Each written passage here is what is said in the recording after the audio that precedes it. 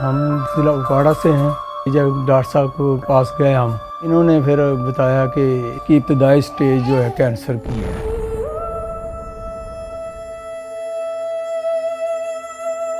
सुनने के बाद मैं इस काबिल नहीं रहा था कि मैं खड़ा हो जाऊँ। मेरे पेरेंट्स बहुत रो रहे थे और मतलब कि उम्मीद ही नहीं थी कि मैं बता बचती भी हूँ कि नहीं बचती।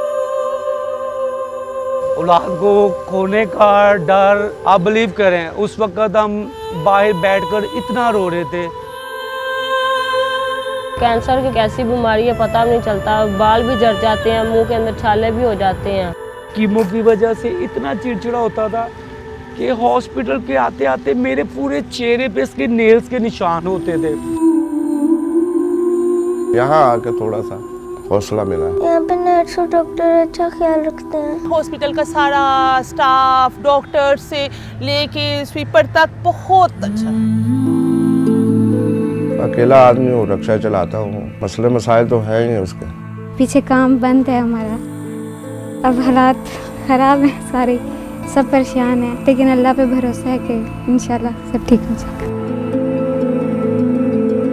ऐसे पेशेंट्स जो हैं वो बकसरत हैं को शायद खाने के लिए भी मैसर नहीं है। लेकिन जब वो इस तकलीफ़ में इधर आए हैं तो शौकत खानम ने उनको बड़े अच्छे तरीके से हैंडल किया। कि यहाँ पे जो गरीब लोग हैं उनको सपोर्ट किया जाता है एड की जाती है उनकी। इतनी मेरी रेंज नहीं थी कि ये सारे टेस्ट करवा सकूँ मैं। मेरे बेटे का टोटल टोटल टोटल फ्री हुआ है। शौकत खान को डोनेट कर रहा है वो एक काफ़ी ज़्यादा मतलब बड़ा काम कर रहे हैं शौकत खानम के लिए और उनके मरीजों के लिए आप डोनेट करते रहें ताकि बाकी ज़िंदगियाँ बचती रहें ਇੱਥੇ ਕੈਂਸਰ ਦਾ ਇਲਾਜ ਨਹੀਂ ਸੀ ਫਿਰ ਹੋ ਸਕਦਾ ਜੇ ਇਮਰਾਨ ਖਾਨ ਦਾ ਹਸਪੀਟਲ ਨਾ ਹੁੰਦਾ ਤੇ ज़िंदगी देने वाले अल्लाह ताला हैं लेकिन उन्हें अल्लाह ताला ने हमारे लिए एक वसीला बनाया है इमरान खान ने जो हॉस्पिटल बनवाया था ना कि मैं बिल्कुल ठीक ठाक हो गया वो रुके तो चांद चले तो हवाओं जैसा है उसे जो धूप में देखो तो छाँव जैसा है।